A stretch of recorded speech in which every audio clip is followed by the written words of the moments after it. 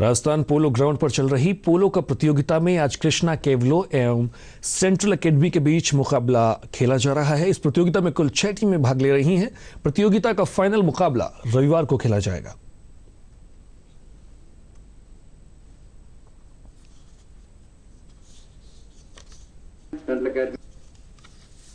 Raghav Rao, Vikramaditya Raghav, Raghav Rao.